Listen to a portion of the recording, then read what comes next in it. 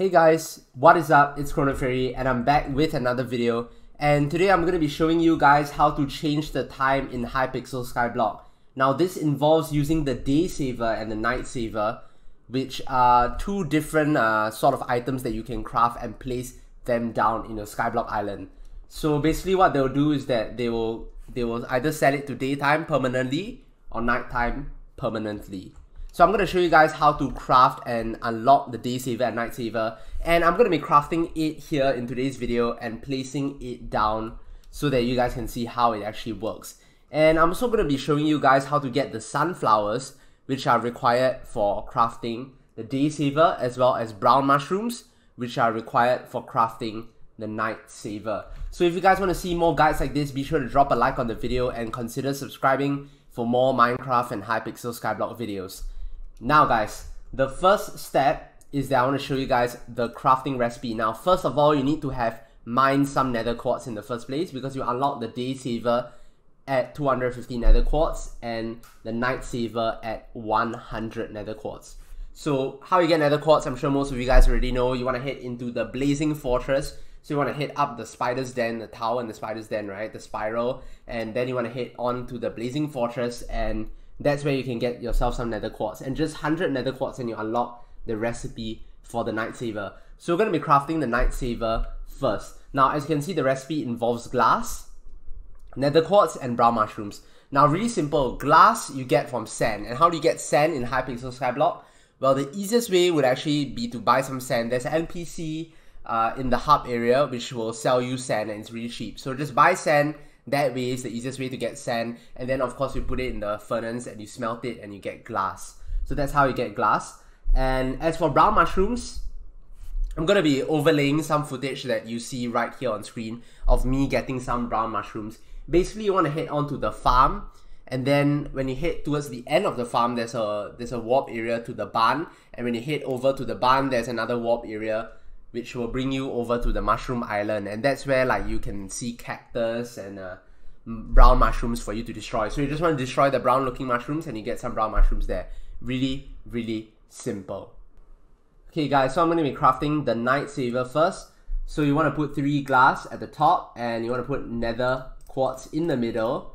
And last but not least at the bottom you want to place some brown mushrooms. And there you go guys, you have yourselves a night saver. So we're going to place this down in just a moment. But first, let's talk about the day saver guys. So the day saver, the recipe is a bit different. It involves the use of sunflowers. So if you want to go on and look over here, day saver at 250 nether quartz, you need to get sunflowers. And how you get sunflowers guys is actually really really simple. The easiest way is that you want to buy it from the auction house. It's actually dirt cheap usually a stack of sunflowers costs like maybe 64 or 100 coins, you know, it's really, really cheap. So you want to get yourself a stack of sunflowers.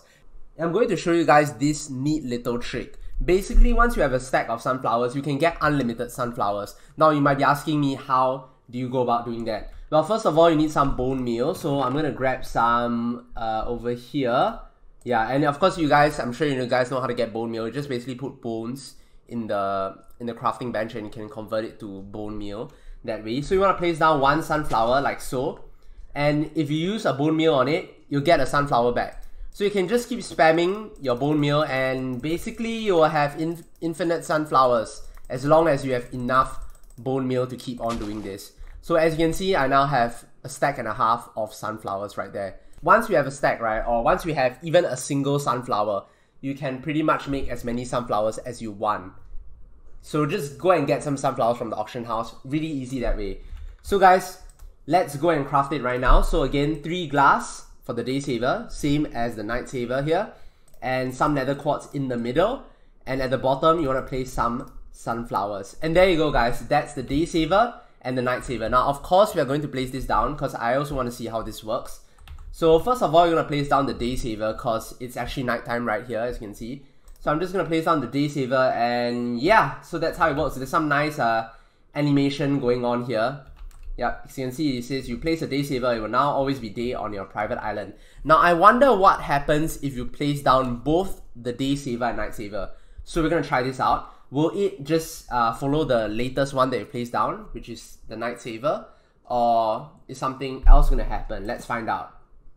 So, okay, So it says here there's a day saver and night saver placed on your island. Their effects have cancelled each other out.